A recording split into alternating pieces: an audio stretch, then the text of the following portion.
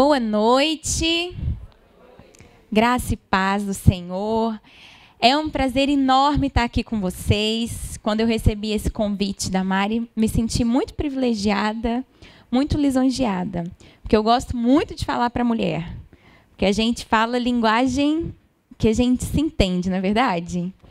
E eu queria muito hoje, quando ela falou comigo, né, quando a Mari falou comigo, ela falou algo muito precioso é, falou, Wilson, eu queria muito que você falasse algo sobre maternidade, né? Algo que da mulher como mãe. E eu queria fazer uma pergunta: quantas mães nós temos aqui? Levanta a mão aí. Oh, glória! Agora eu vou fazer outra pergunta: quantas ainda não são mães, mas têm o desejo de ser mães também? Levanta a mão. Amém! Glória a Deus. Então, deixa eu te falar, essa palavra é para todas nós. Amém? Essa palavra é para nós que somos mães ou aquelas que também têm o desejo de ser mães. E o tema da minha palavra hoje é maternidade real.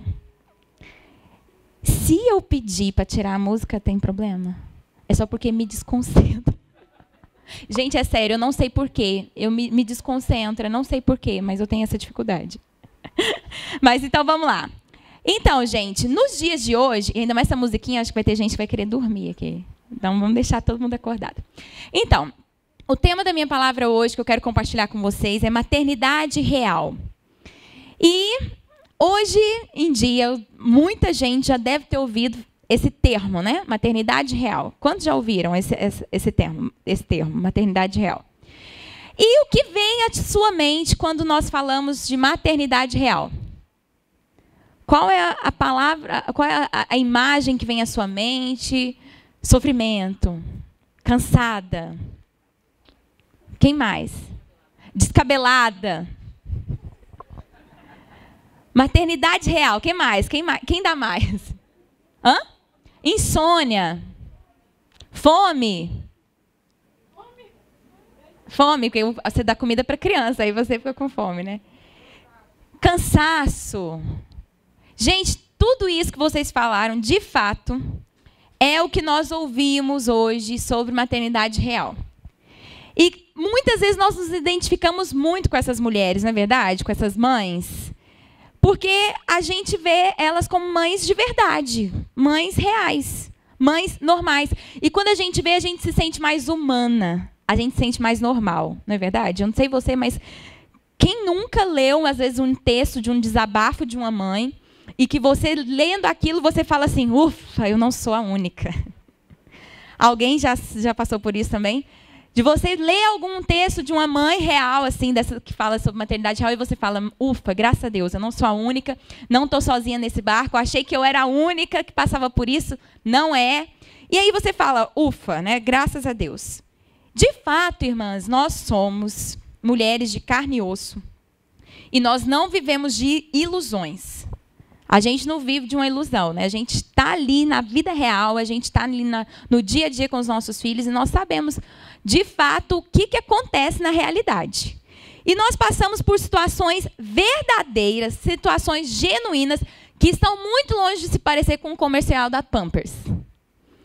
Não é verdade? Muitas vezes a gente pensa, não sei se às vezes antes de ser mãe, muitas vezes pensa, né, vai ser só igual o, o comercial da Pampers, e joga o bebê para o alto e o bebê está sempre sorrindo, né? E sempre limpinho, a casa linda, né? Limpa, a mulher toda bem arrumada.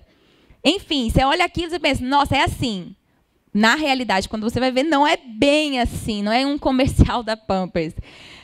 Não é bem uma mãe de novela, né? Mas será, irmãs, que a maternidade real ela é só o que, que as redes sociais elas vêm propagando ultimamente? Quando nós nos deparamos com que as redes sociais falam sobre maternidade real, a gente até se assusta. Eu estava vendo um blog sobre maternidade real esses dias e olha o que a frase que, uma, que a, a mulher que escreve no blog falou. Eu cansei de ver relatos felizes e textos motivacionais para futuras mamães. O texto dela sobre como era o blog era esse, a introdução do texto. Né? Eu me cansei de ver textos felizes e motivacionais para as futuras mamães. Ou seja, ela não estava mais querendo ver coisas que motivassem para ser mãe. Ela queria se deparar com aquilo que era é, ruim né, da maternidade também. Mas será que a maternidade ela precisa mesmo, ela é de fato assim penosa e árdua? Será que ela é uma caminhada árdua, difícil? Nós temos percebido hoje no mundo que tem se roubado muito o encantamento das mulheres acerca da maternidade. Muito disso da maternidade, da maternidade real é um movimento que vem do feminismo por detrás disso, para querer desconstruir todo o que há de bom também na maternidade. Muitas vezes, é claro que a gente vai encontrar bons textos, bons conteúdos de maternidade real, óbvio. Né? Claro que não, é todo, não, é que, não quer dizer que todo desabafo é ruim, não. Mas muitas vezes há uma depreciação tão grande acerca da maternidade que acaba desmotivando a maioria das mulheres. E muitas mulheres pensam: ah, ó céus, ser mãe é muito difícil. Ser mãe é muito cansativo, ou ser mãe é todas essas palavras que vocês falaram aí quando vem, quando nós falamos acerca de maternidade real. Mas mulheres que enxergam a maternidade como um chamado, como uma missão especial, essas mulheres elas não receberão encorajamento através dessas que propagam a maternidade real no mundo secular. Nós não vamos receber encorajamento do mundo secular acerca da maternidade nesse sentido. Se nós enxergamos a maternidade como chamado, como uma missão, nós não vamos ter nenhum tipo de encorajamento. É mesmo, isso, isso aí, coloca filho no mundo mesmo para fazer diferença. Pouquíssimo nós ouvimos sobre isso. A gente, muito pelo contrário, deveria ter menos filhos. Né? O mundo está muito difícil, cada vez menos filhos. E é isso que às vezes a gente tem ouvido. Mas hoje, irmãs, eu quero propor a vocês que a gente conheça a maternidade real que o Rei dos Reis nos apresenta, que é a maternidade da realeza. Então hoje eu quero propor para vocês uma maternidade real, mas não real no sentido de apenas verdadeira, real no sentido de realeza. Como filhas do rei. Afinal, nós somos filhas, amém? Quantos são filhas do rei aqui? Amém. E assim como todo o nosso estilo de vida, a nossa maternidade também, ela tem que ser real, ela tem que ser digna de realeza. Quantos preferem essa maternidade real? Amém. Então eu quero hoje falar para vocês sobre essa maternidade real. Real de realeza. Então, toda vez que eu falar aqui de maternidade real, a partir de agora, você vai enxergar com outros olhos a maternidade real. Você vai falar, eu quero viver uma maternidade maternidade real, que é uma maternidade da realeza, que é digna dos reis dos reis. Amém? E percorrendo as escrituras, irmãs, nós vamos perceber, nós vamos aprender o que que o Pai do céu nos ensina, o que que o Pai do céu considera acerca das mães reais. E é com o Pai do céu que nós vamos aprender a ser mães.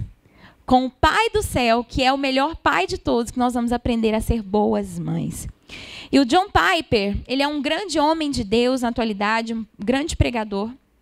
Ele diz o seguinte: o chamado bíblico da maternidade, ele é visto como uma transmissão de visão centrada em Deus e tendo Cristo como um tesouro para suas crianças.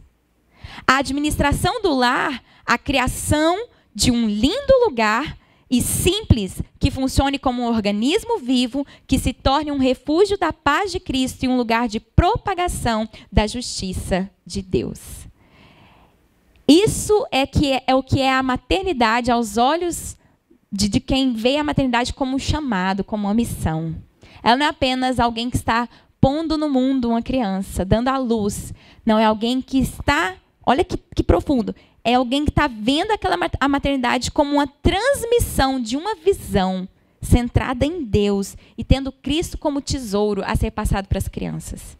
Então vamos conhecer mais sobre essa maternidade? Sobre a maternidade da realeza? O que que na Bíblia nos fala sobre maternidade? Então quantos trouxeram a sua Bíblia aí? Nós vamos usar muito a Bíblia hoje. Então eu quero que você fique antenado aí ligada na sua Bíblia, porque nós vamos conhecer melhor a maternidade real, da realeza. Amém? Feche os seus olhos rapidamente. Senhor, fala aos nossos corações. Eu quero te pedir que o Senhor desconstrua os nossos pensamentos que estão contrários aos pensamentos da tua palavra. Que em nome de Jesus Senhor possa levantar, construir, edificar uma nova mentalidade nas nossas mentes, para que nós sejamos mulheres cheias do teu Espírito Santo e possamos viver a maternidade real que o Senhor tem para nós, a maternidade da realeza, em nome de Jesus. Amém? Amém. Então, o primeiro ponto que nós vamos ver na palavra de Deus sobre o que é a maternidade real é que a maternidade real ela é sinônimo de bênção. Fala comigo, a maternidade real é sinônimo de bênção. A maternidade, segundo a Bíblia, ela é sinônimo de bênção. Muitas mulheres no mundo de hoje, elas optam por não serem mães. E se essa aqui é uma das suas escolhas, se tem alguém aqui que escolheu isso, eu creio que Deus pode derramar a graça dele sobre a sua vida. Amém? Mas muitas mulheres, elas não elas escolhem não ser mães ou muitas mulheres, às vezes elas adiam muito e veem a maternidade às vezes como um peso, porque elas falam a seguinte frase: filho dá trabalho. Filho dá trabalho. Não, nossa, é muito cansativo e às vezes vê aquilo como uma maldição, né? Fala, não, meu Deus, é algo muito difícil. E é essa mentalidade que nós temos impregnado nas nossas crianças, nos nossos filhos. Você sabia disso? Eu estava conversando há um tempo atrás com uma sobrinha do, do meu marido, de seis anos. E conversando com ela, ela com seis anos, e a gente batendo um papo, eu sei que em algum momento ela falou assim: Ai, eu não quero ter filhos. Eu falei: por que, que você não quer ter filhos? Ela falou: porque filho dá muito trabalho. Aí eu falei: quem falou isso para você?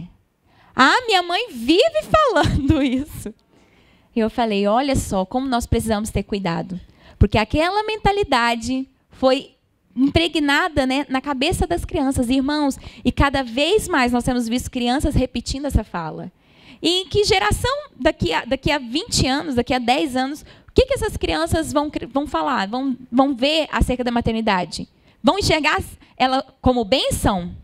Certamente não. Elas enxergarão como algo penoso, como algo que significa a paralisação da carreira, algo que é, tem a ver com tempo perdido, com cansaço, com exaustão, com privação e ver a maternidade como sinônimo de tudo isso, todos os adjetivos negativos que você imaginar, menos sinônimo de bênção.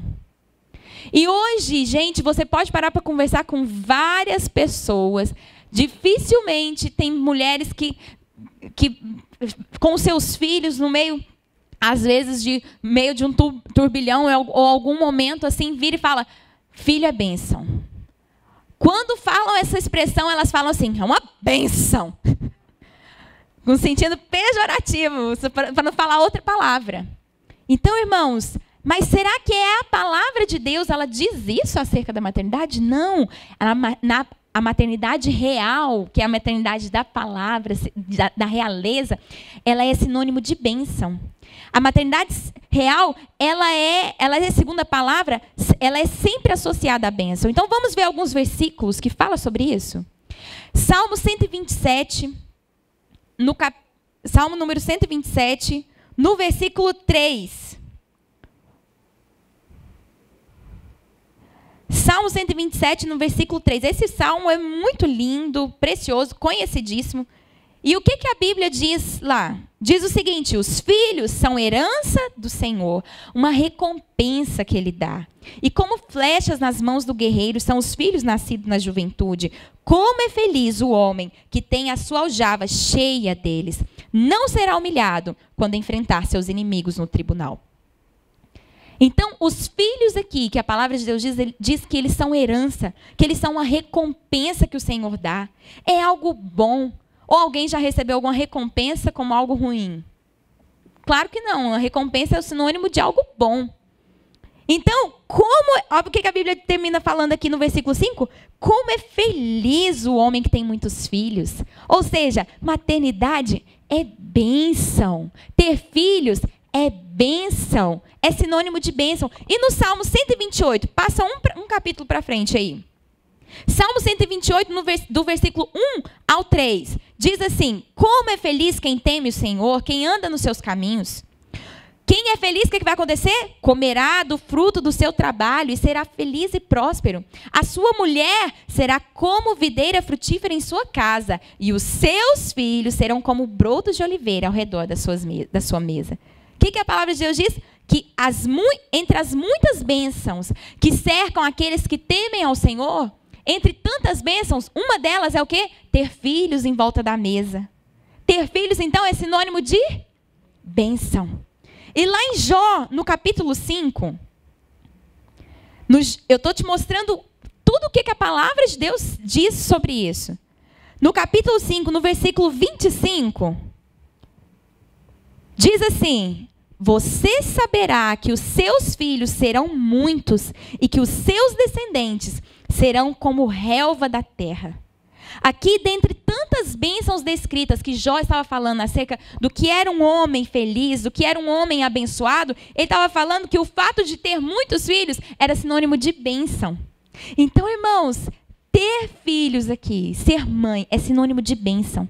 E lá em 1 Crônicas, no capítulo 26, você, você pode ler depois, eu vou rapidamente para a gente ganhar tempo. 1 Crônicas, capítulo 26, no versículo 4 e 5, nós vamos ver que Deus abençoou Obed-Edom.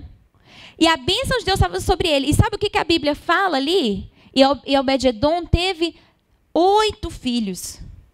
Porque a bênção de Deus estava sobre ele. O versículo termina assim.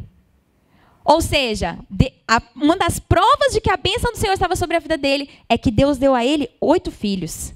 Ou seja, maternidade real é sinônimo de bênção. E lá em Êxodo 23, esse eu vou abrir, porque esse versículo tem um, um carinho especial por ele. Êxodo 23, no capítulo 25. A Bíblia diz assim: Prestem culto ao Senhor, o Deus de vocês, e ele os abençoará, dando a vocês alimento e água, e tirarei a doença do meio de vocês.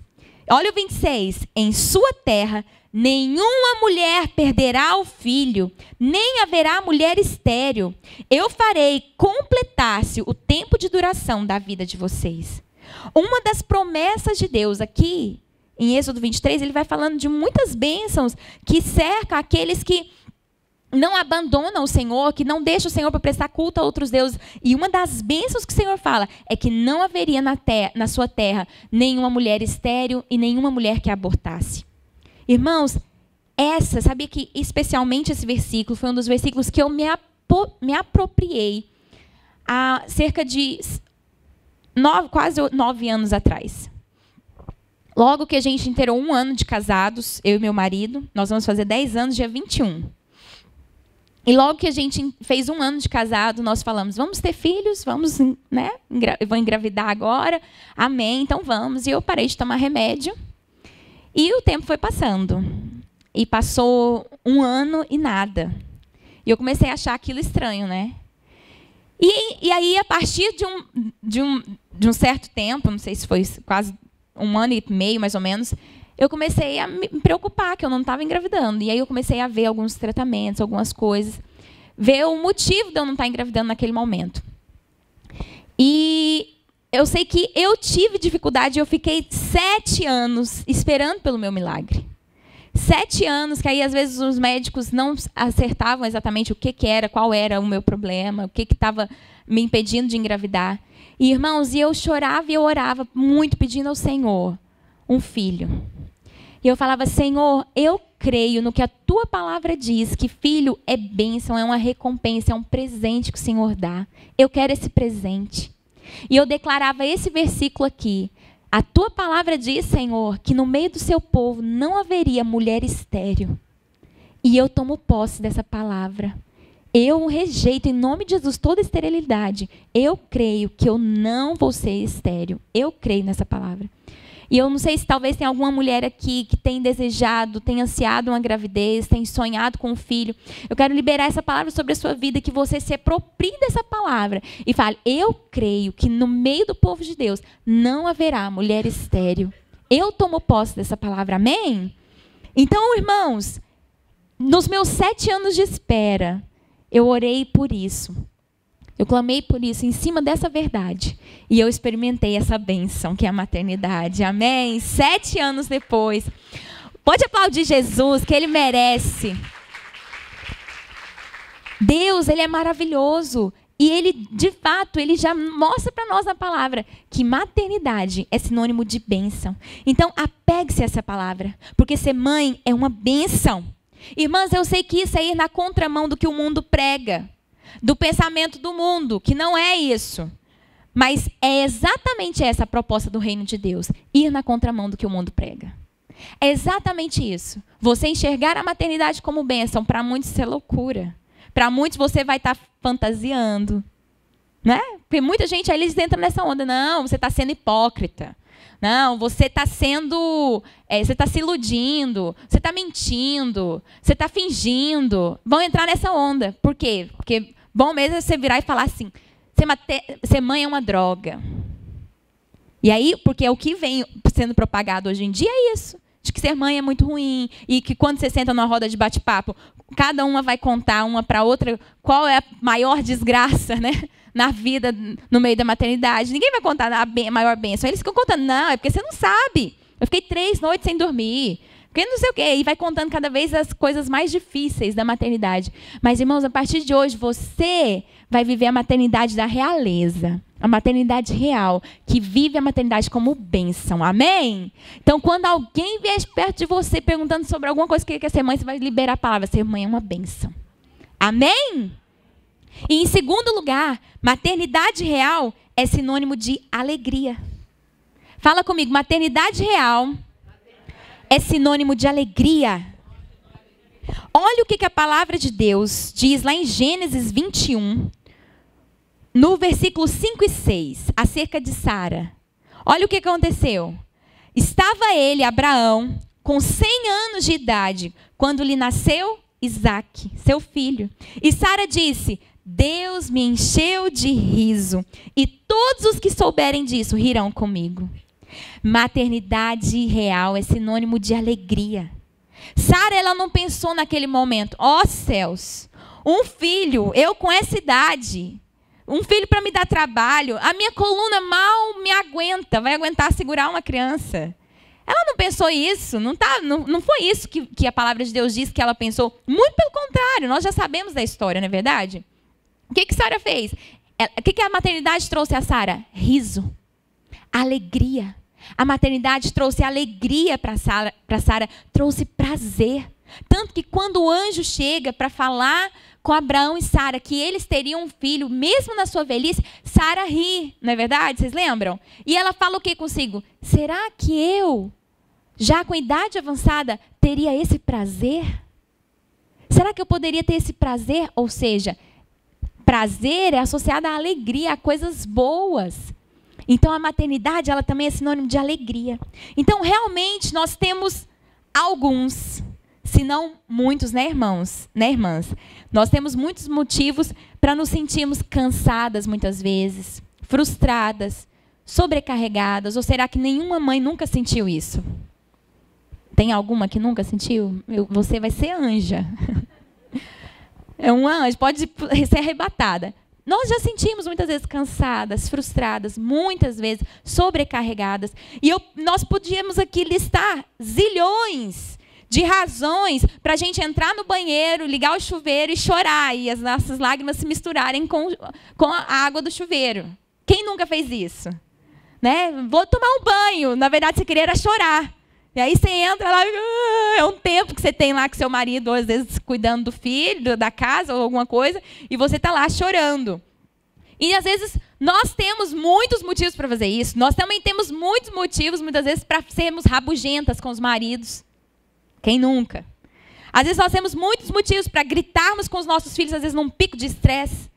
Né? Às vezes num momento assim, irmãos, eu me considero me considero. Às vezes as pessoas que convivem comigo mais de perto, às vezes sabem, né? Tá aqui a Aline, minha discípula. Eu sou uma pessoa até paciente. Né? Meu marido fala isso de mim, ele também me considera paciente. Mas, irmãos, já perdi muitas vezes.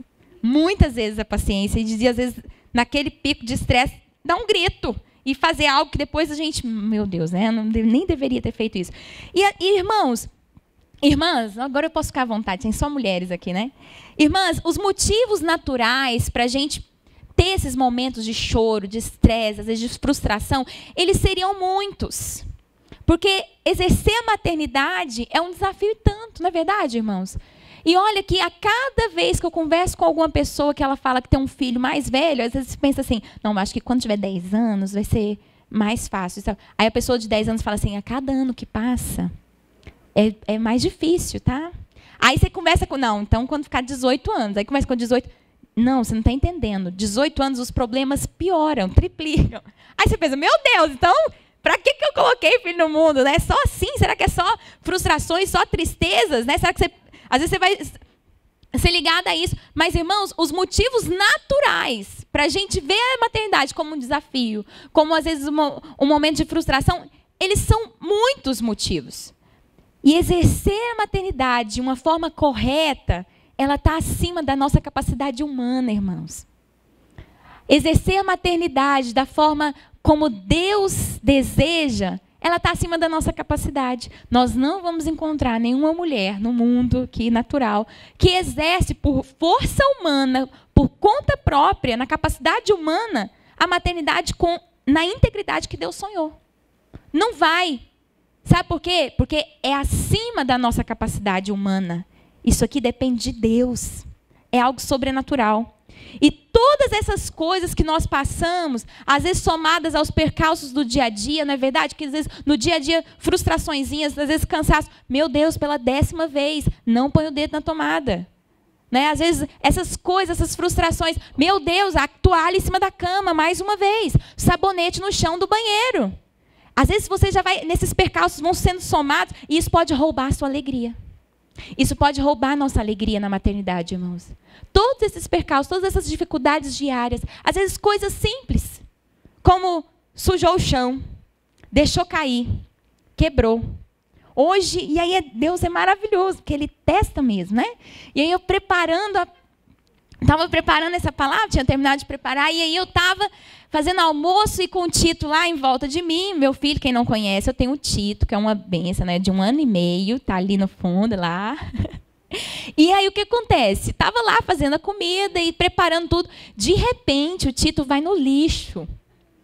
E ele não só pega o lixo, ele vira o lixo. Sabe quando tem arroz no lixo? E ele joga o arroz todo no chão, assim, irmãos, na hora eu te confesso que eu tive que vigiar muito para minha alegria não ir embora. Essas situaçõezinhas assim, elas têm o poder de às vezes roubar nossa alegria.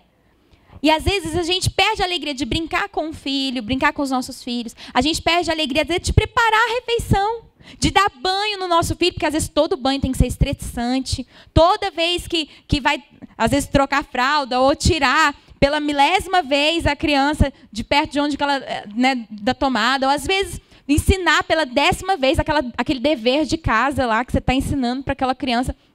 Ou, às vezes, situações que você fala pela milésima vez para o adolescente, sai do celular. Enfim, às vezes são diversas situações que isso vai roubando a nossa alegria. E a gente perde a alegria de simplesmente parar e contemplar os nossos filhos.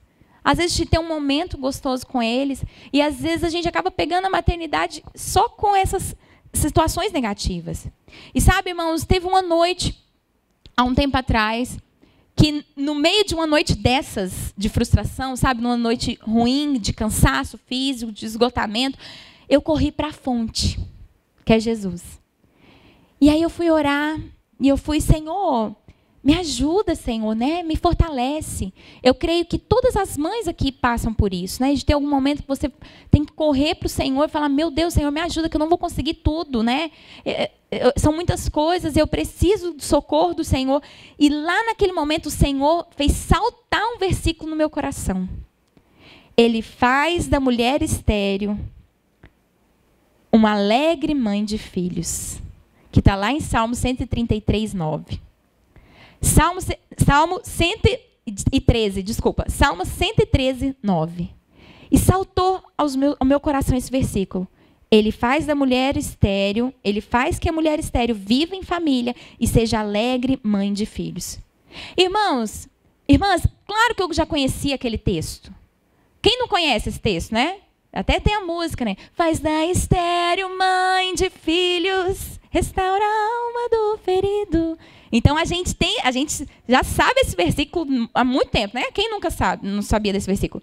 Claro que eu já sabia desse versículo, mas naquele momento ele saltou nos meus olhos, veio no meu coração e é como se o Espírito Santo soprasse no meu, no meu coração e aquela letra tivesse vida naquele momento. A palavra tornou viva, alegre mãe de filhos. É isso. Falei, o Senhor quer que eu seja uma alegre mãe de filhos. O Senhor não quer que eu seja uma mãe frustrada, uma frustrada mãe de filhos, uma cansada mãe de filhos. O Senhor não quer que eu seja uma triste mãe de filhos, uma esgotada mãe de filhos. Não, o Senhor quer que eu seja uma alegre mãe de filhos. E o me, ele é o mesmo que levanta do pó necessitado, o mesmo que dá um lar a estéreo. Ele é o mesmo que faz de nós mães cheias de alegria. Irmãs, o mesmo Deus que faz todos os milagres, é para Ele colocar alegria no nosso, no nosso coração para cumprir, para viver essa missão? Amém? E naquele momento, diante de Deus, eu comecei a clamar. e falei, Senhor, eu quero viver essa alegria cada dia mais. Eu quero ser uma mãe que é alegre mãe de filhos. Se eu tenho essa promessa à minha disposição, eu vou me posicionar agora e eu quero receber essa alegria. Irmãos, eu reconheço, naquele momento eu reconheci o meu coração quebrantado e que eu realmente precisava que o Pai do céu me ensinasse a ser mãe. E eu quero ser, Senhor, uma mãe alegre. E sabe, irmãs, eu, minha oração é para que hoje você seja tomada dessa alegria. Que você tenha alegria tremenda por ser mãe, não baseada nas circunstâncias naturais. Nós vamos ter picos de alegria. Eu já vi alguns estudiosos falando que nós temos muito, muito poucos picos de alegria. A maioria das situações, na verdade, é uma reta e abismos, né, de frustrações e poucos picos de alegria. Mas isso, irmãos, isso, irmãs, baseado nas circunstâncias naturais. Quem é do reino dos céus não vive baseado nas circunstâncias naturais. Amém? A nossa alegria ela vem do nosso interior, é uma fonte inesgotável. Amém? A alegria que o Senhor tem para nós, ela é uma fonte inesgotável. Então, ela não é baseada nas circunstâncias naturais, mas no poder sobrenatural do Espírito Santo e que ele nos permite viver o reino de Deus, que é paz, justiça e alegria. Ele nos permite viver esse reino em todos os momentos, em qualquer circunstância. Então, a maternidade do reino dos céus, é uma maternidade alegre. Então, a maternidade real, ela é sinônimo de alegria. Amém? E a maternidade real também, ela é sinônimo de propósito. Lá em Lucas, no capítulo 1, do versículo 5 até o 25, nós não vamos ler porque é bem extensa, mas nós vamos ver ali no capítulo 1 a história de Isabel e Zacarias, pais de João Batista. Então vamos ver um pouco, eu só vou ler o versículo 13. Vou passar rapidamente aqui, falar um pouco do versículo 13 em diante, que é quando o anjo aparece a Zacarias e fala para ele: Olha, a sua oração foi ouvida. E Isabel, a sua mulher, ela vai ter um filho. Ela vai engravidar. E você vai dar o um nome para esse menino de João. E o anjo fala assim, ó, ele será motivo de grande alegria para você, e muitos vão se alegrar por causa do nascimento de João. E falou que ele vai, ia ser grande, liberou palavras, o anjo falou tudo acerca do que João viria a ser. E lá no final, no verso 20, nos versos 59 e 60, a gente encontra Isabel depois que o menino nasceu.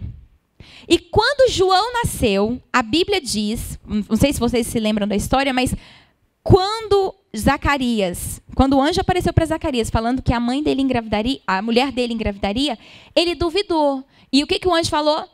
Porque você duvidou, você vai ficar mudo. Então ele ficou mudo até o dia do nascimento de, de João. E João nasceu. Quando ele nasceu, ele foi levado para ser circuncidado. E no dia que ele foi levado para ser circuncidado, ele ainda estava mudo. E quando chegou lá, o que a gente vai ver lá no versículo 59 que as pessoas começaram a perguntar: qual vai ser o nome dele?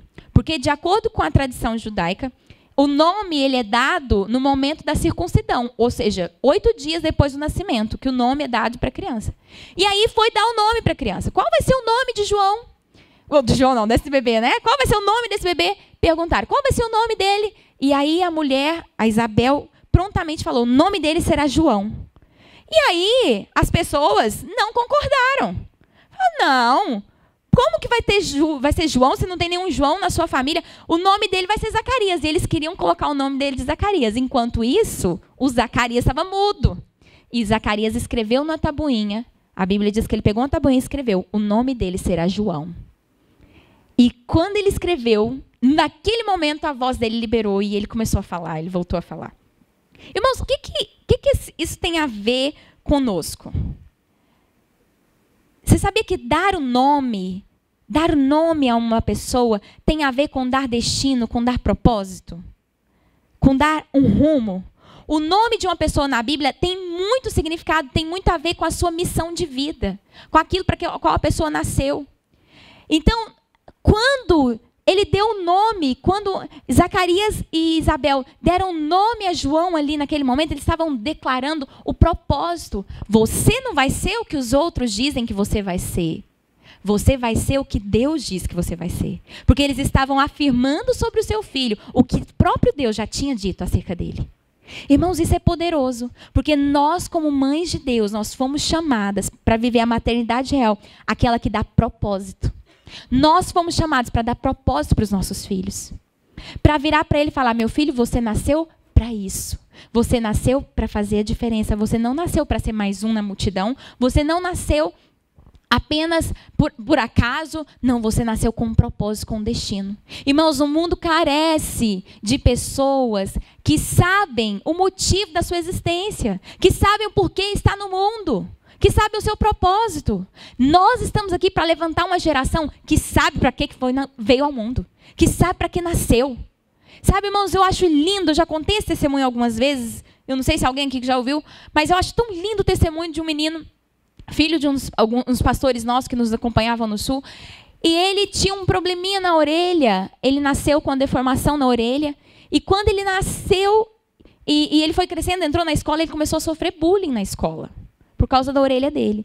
E aí, quando as pessoas começavam a perguntar, por que, que você tem a orelha assim? Ele contava. e falou, não, você sabe o que, que é? É porque quando a minha mãe ficou grávida de mim, ela teve dificuldade durante a gestação. E ela quase me perdeu, quase que eu morri. Porque o diabo queria roubar minha vida. E o diabo começou a lutar, mas Deus enviou o anjo dele e começou a lutar com o diabo para não roubar minha vida, para não me matar. E aí o, Deus foi tão mais forte do que o diabo que ele venceu. Só que o diabo só cortou uma pontinha da minha orelha. Mas é só para eu lembrar que eu sou um milagre. Irmãos, e ele contava isso toda vez que perguntavam para ele. Hoje ele já é um adolescente, um líder na igreja, uma bênção. Mas você sabe por quê? Foi dado propósito. Nós precisamos dar propósito para os nossos filhos. Filhos, você sabe por que você está no mundo? Deus te criou para isso. Irmãos, desde quando nós escolhemos o nome do nosso filho, né? E Deus nos deu um versículo para ele. E eu profetizo na vida dele, falo, filho, você tem um versículo. O versículo da vida dele está lá em 2 Coríntios 7, 6, que diz: E Deus, que anima os desanimados, nos animou com a chegada de Tito. Abre lá que você vai ver. Deus que anima os desanimados nos animou com a chegada de Tito. E eu tomei posse desse versículo e falei, filho, você vai ser aquele que vai animar os desanimados. Você vai ser aquele que vai levar alegria aos que estão abatidos, porque o Espírito do Senhor está sobre você e você foi chamado para isso. Irmãos, nós precisamos dar destino para os nossos filhos. Você já tem uma palavra para o seu filho? Você já tem uma palavra que se apropria sobre a vida dele? Deus já te deu? Deus já deu para você uma palavra que diz assim: seu filho será isso, seu filho vai ser assim. Nós precisamos tomar posse dessa palavra e declarar isso sobre a vida deles. E de, porque quando eles tiverem consciência do propósito deles, não serão as mentiras do mundo, não vai ser o que o mundo falar a respeito deles que vai entrar no coração deles. Sabe por quê? Porque eles vão saber, não, eu, eu, eu sei para que, que eu estou no mundo. Eu sei para o que eu nasci. Eu sei quem eu sou. Amém? Então nós precisamos dar propósito aos nossos filhos. Então garanta a eles que eles não estão por aqui por acaso. Garanta para eles que eles não vão ser mais um na multidão. Porque Deus deseja levantar eles como aqueles que fazem a diferença no meio dessa geração. Amém? E maternidade real, então, é sinônimo de propósito. E maternidade real também é sinônimo de influência. Uma pesquisa, irmãos, realiza, realizada pela Barna, ela aponta que 68% dos cristãos americanos, ao serem perguntados sobre de quem eles receberam influência para sua fé, sabe o que, que 68% dizem? Que de onde que vem essa influência? Da mãe. Da mãe. Você acredita nisso? 68% da influência para alguém se decidir por Cristo veio da mãe. Irmãos, até as pesquisas estão a nosso favor. Olha que bênção isso. Isso é influência. O fato é, irmãs, nós influenciamos. Seja positiva ou negativamente, nós influenciamos. Nós sempre exercemos a influência na vida dos nossos filhos. Existe uma pesquisa feita pelo John Maxwell, ele falou alguma coisa sobre isso, que todas as pessoas no mundo elas têm o potencial de, de, a mesma mais tímida, ela tem o potencial de influenciar cerca de 10 mil pessoas ao longo da sua vida. Mesmo a mais tímida, sem, sem nenhuma, nenhum microfone na mão. Ou seja, você tem muito poder de influência. Quanto mais sobre os nossos filhos, nós temos muito poder. E às vezes nós encontramos na palavra um exemplo negativo de influência. E eu queria mostrar para vocês um exemplo lá em Mateus 14, que mostra de um exemplo negativo de influência, no Mateus 14, versículo 8, que mostra um exemplo negativo da influência de uma mãe sobre um filho. Que foi quando João Batista ele estava preso e Herodes ele não matou ele, mas o prendeu, porque ele falava contra ele, porque ele tinha casado com a irmã, com a, com a mulher do seu irmão, Herodias.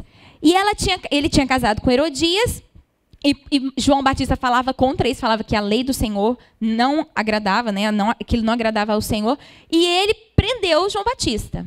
E Herodias tinha uma filha, e no meio de uma festa, a filha dela estava dançando, e o rei e Herodes se agradou muito, e falou assim: peça o que você quiser, que você vai receber. E a Bíblia diz, lá em Mateus 14, 8, o seguinte: influenciada por sua mãe, ela disse: Dá-me aqui num prato a cabeça de João Batista. Olha a influência negativa. E a Bíblia diz que Herodes, mesmo triste, como ele já tinha falado diante de todos, ele foi lá e mandou matar João Batista e trouxeram a cabeça dele numa, num prato. Irmãos, por que, que ela fez isso? A Bíblia deixa muito claro que foi influenciada pela mãe. Foi a influência de uma mãe sobre ela que fez ela ter essa triste atitude. Mas, por outro lado, nós vemos muitos exemplos positivos de influência na palavra. E nós temos que nos apegar a ele. Um dos grandes exemplos é a de Joquebed. Quem sabe quem foi Joquebed? Um de cada vez. Joquebed foi mãe de Moisés. Ela foi mãe de Moisés. E ela amamentou Moisés. E depois de desmamar Moisés, ela entregou para a princesa para ser criada no palácio. Isso está lá em Êxodo 2. Então, ela criou Moisés até o tempo dele ser desmamado. Alguns estudos, eles apontam que naquela época a criança ela mamava até cerca de três anos de idade, mais ou menos. Era a média que naquela época eles amamentavam. Com certeza Joquebed deve ter segurado ao máximo essa amamentação, né? Porque ela falou: peraí, eu vou amamentar aqui o máximo que eu puder para eu ficar com ele. Muitos casos, existem alguns historiadores que registraram até 10 anos de idade a amamentação. Eu imagino que não deve ter sido o caso aqui, mas nós temos uma certeza: a primeira infância de Moisés foi passada, é, foi passada com a sua mãe biológica, que foi Joquebede. E Joquebede influenciou positivamente a, a primeira infância de Moisés. Então, irmãos, às vezes, irmãs, às vezes nós pensamos, ah, é pouco convívio, uns três anos, é muito pouco. Mas, irmãs, não é pouco para uma mãe que tem intenção de influenciar. Joquebede, ela influenciou a primeira infância do seu filho de forma tão marcante que Moisés cresceu. E ele, mesmo depois de grande, aquilo estava guardado no coração dele, os princípios do povo hebreu, os princípios do Senhor ficou guardado no coração dele, que, que quando ele cresceu, ele teve compaixão do povo hebreu. E aí ele viu um escravo hebreu sendo maltratado e ele foi lá e matou o egípcio que estava maltratando ele. E aí que ele teve que fugir. E o Senhor apareceu para ele depois numa sarça ardente e falou o quê? Lá na sarça ardente. Falou: Eu sou o Deus dos seus pais. Lá em Êxodo 3, no versículo 5 e 6. Diz assim: Eu sou o Deus dos seus pais. O que, que Deus estava falando ali para ele? Eu estou lembrando, eu estou lembrando a você de onde você veio. Naquele momento era como se Deus estivesse resgatando toda a memória que, que Moisés teve na sua primeira infância. Então, irmãs, a mãe de Moisés, ela foi intencional nisso, em influenciar. E como mães, nós temos que pedir sabedoria do alto para influenciarmos os nossos filhos de forma positiva, de falar para eles, filhos, eu vou ser influenciadora, vou te influenciar a você buscar mais de Deus, a você amar mais o Senhor, a você ser cheio do Espírito Santo, e nós vamos influenciar. Irmãos, você querendo ou não, tudo que você faz influencia a vida do seu filho. O fato de você já existir, você influencia de alguma forma na vida do seu filho. A questão é, você vai pegar esse, esse poder de influência e vai ser intencional nisso, ou você vai deixar haver navios? Nós precisamos ser intencionais na nossa influência. Amém? Então diga comigo, a maternidade real influencia. E eu vou correr com meu tempo aqui. Que diz o seguinte, e, e, e, em quinto lugar, a maternidade real, ela é sinônimo de instrução. Lá em 2 Timóteo, no capítulo 3, versículo 14, nós vamos ver que Timóteo, Paulo escreve a Timóteo e ele fala o seguinte: Quanto a você, Timóteo, permaneça nas coisas que você aprendeu, as quais você tem convicção, pois você sabe de quem o aprendeu, porque desde criança você conhece as sagradas letras. A, Paulo escreve para ele falando: Olha, desde criança você já conhece. Agora deixa eu te falar, quem foi que ensinou a palavra? para Timóteo. Eunice, que era sua mãe, e a sua avó Lloyd. Eu quero focar em Eunice. A, o pai de, de Timóteo, ele não era cristão. Ele era grego. E só a mãe ela era convertida, mas ela ensinava os princípios, ensinava a palavra para Timóteo desde pequeno. E como, como e aí eu quero te falar algo muito importante. Ela não falhava na missão dela de instruir o seu filho na verdade. Ela vivia a maternidade real instruindo. E como que os nossos filhos, irmãos, eles vão reconhecer as mentiras do mundo conhecendo a verdade da palavra. Nós precisamos instruir os nossos filhos na verdade da palavra. Se instruirmos os nossos filhos na verdade, eles não, eles vão facilmente discernir a mentira. Você sabe como que alguém se torna perito em notas falsas? Sabe como que alguém se torna perito em conhecer quais. Pegar uma nota e falar, isso aqui é nota falsa. Tem gente que só de olhar, só de pegar, ele já sabe que é falsa. Como que ele se torna perito naquilo? Estudando todas as notas falsas? Não, conhecendo muito bem a verdadeira. Como que os nossos filhos, eles conhecerão as mentiras, reconhecerão as mentiras do diabo que vierem para tentar entrar no coração deles? Conhecendo a verdade da palavra. Por isso nós precisamos instruir os nossos filhos na palavra. Instruir os nossos filhos na palavra. E aqui, irmãos, eu quero falar para você. Será que você tem dedicado um tempo de instrução da palavra com seu filho? Será que você tem devocional? Será que nós temos tirado um tempo de devocional com os nossos filhos? Será que nós temos tirado um tempo para ensinar a palavra? Filho, a Bíblia diz isso, isso e isso. Ou será que nós temos delegado isso somente ao culto infantil? Somente entregado, às vezes, ah, já está na cela, aprende a Bíblia lá. Ou, ah, está no culto, aprende lá no culto. Não, irmãos, essa função é nossa. E assim como Eunice, ela instruiu a maternidade da realeza, essa maternidade real, ela tem instrução. Ela é sinônimo de instrução, instrução na palavra. E eu quero incentivar você a tirar um tempo de devocional com seus filhos. Tirar um tempo durante a semana e falar: eu vou ensinar a palavra para o meu filho. E eu não sei se alguém, quantos aqui, se, se por acaso já tem alguém eu, eu escrevi um e-book que é um, um e-book de um, como um manual de devocional para os filhos. É, alguém já, que está aqui já teve acesso a ele? Amém, algumas pessoas. Eu queria incentivar você, se você quiser ter acesso a esse e-book, é um, um e-book prático que pode te auxiliar como você fazer devocional com seus filhos. E esse e-book está na minha página do meu Instagram, no meu perfil. Você pode clicar lá e fazer o download do, desse e-book. Depois você pode procurar. O meu Instagram é o meu nome. Eu sou única. você vai achar facilmente. Estava o meu nome aqui, né? Wilze Adorno. W-I-L-Z-Y. Você vai achar facilmente. E ali, e nesse e-book, você pode aprender mais, pode aprimorar sobre maneiras de você instruir os seus filhos na palavra. Então, irmãos, nós precisamos instruir os nossos filhos na palavra. Nós precisamos gerar amor pela palavra no coração dos nossos filhos. A instrução, ela cabe a nós dar a instrução aos nossos filhos, como lá em Deuteronômio 6 nos orienta. Amém? E em, ter, em sexto lugar, a maternidade é sinônimo de inspiração. Lá em 2 Timóteo 1,5, Paulo também fala o seguinte para Timóteo: fala o seguinte, recordo-me da sua fé não fingida, que primeiro habitou na sua avó Lloyd e em sua mãe Eunice, e eu estou convencido de que também habita em você. Olha o que, que ele falou. Eu tenho certeza que a mesma fé não fingida que habitava na sua mãe Eunice, na sua avó Lloyd, habita também em você. O que, que isso nos fala? Irmãos, fala que Eunice ela era um modelo para o seu filho. Ela era padrão. Isso ficou claro aqui na carta que Paulo escreveu para Timóteo. E enquanto a influência, enquanto a influência é recebida por nossos filhos é, de forma quase que sempre inconsciente, enquanto a influência é recebida por nossos filhos quase, quase que de forma in, inconsciente. Eles não precisam necessariamente falar assim, ah, minha mãe me influencia. Não, ele está sendo influenciado mesmo sem ele saber. A inspiração não. A inspiração, ele olha e fala, eu quero fazer igual. Ou ele olha e fala, eu não vou repetir. Então, para inspirar os nossos filhos, isso não vai ser tão de forma automática.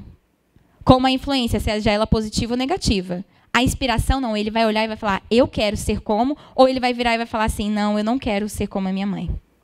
Agora, como é precioso nós vermos pessoas que olham e falam assim, uau, eu quero ser como a minha mãe.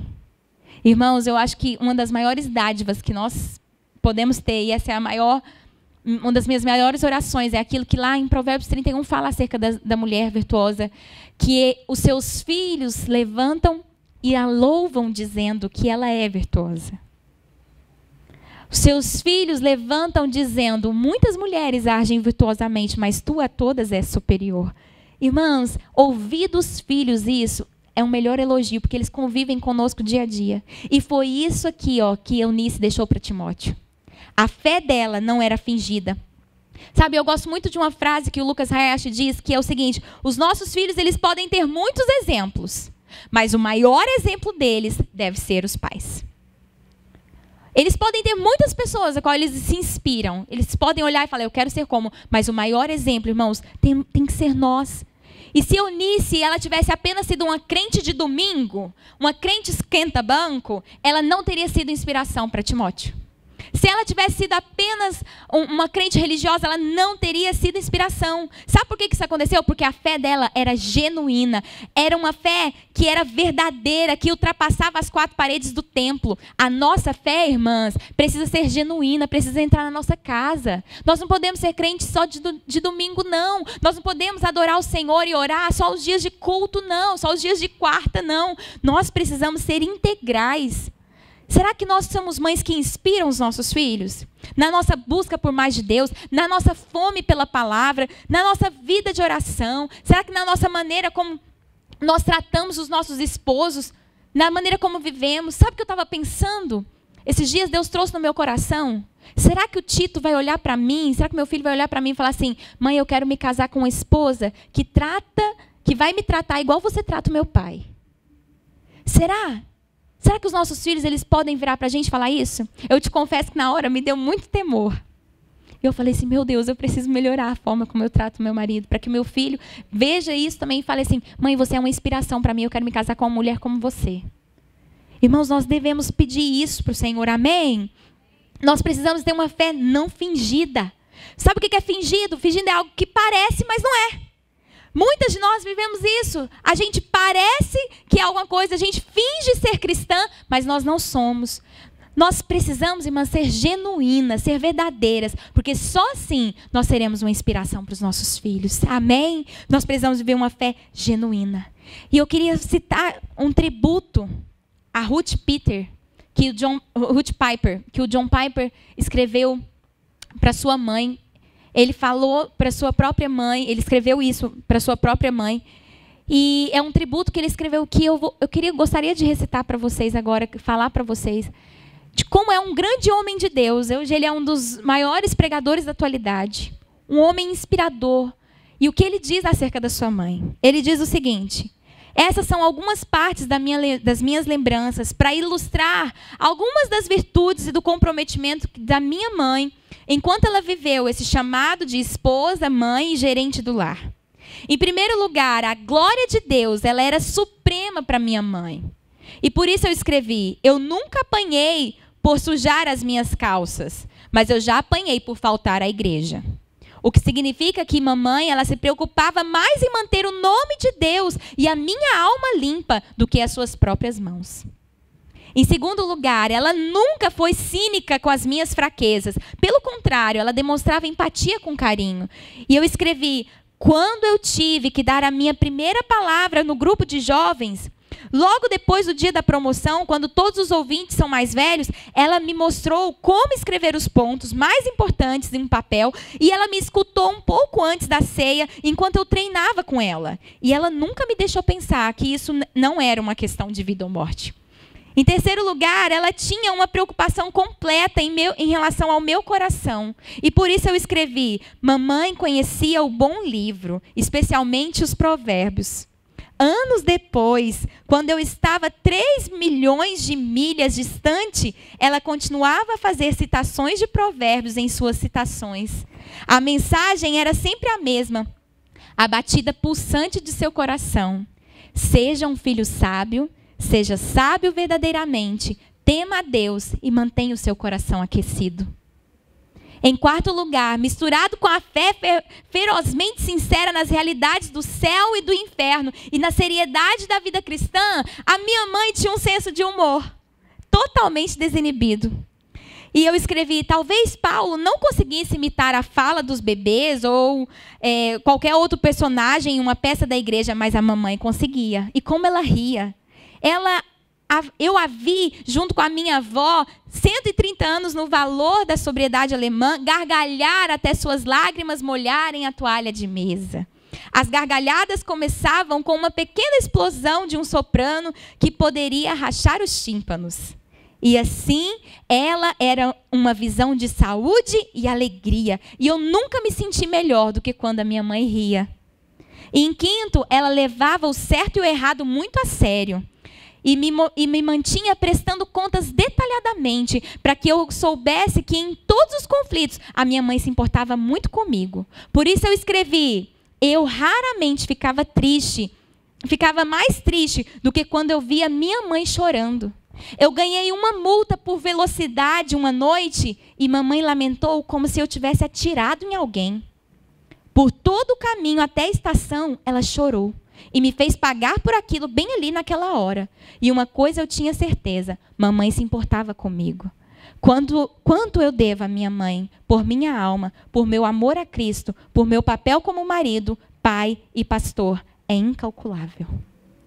Sabe, irmãos, tudo isso que um homem de Deus falou acerca de sua mãe.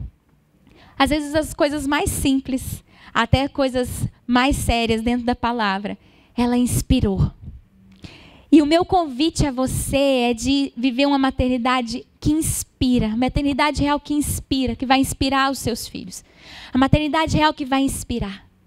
Mas para terminar e concluir essa palavra, é muito importante nós sabemos que a maternidade real, em sétimo lugar, ela é sinônimo de consagração.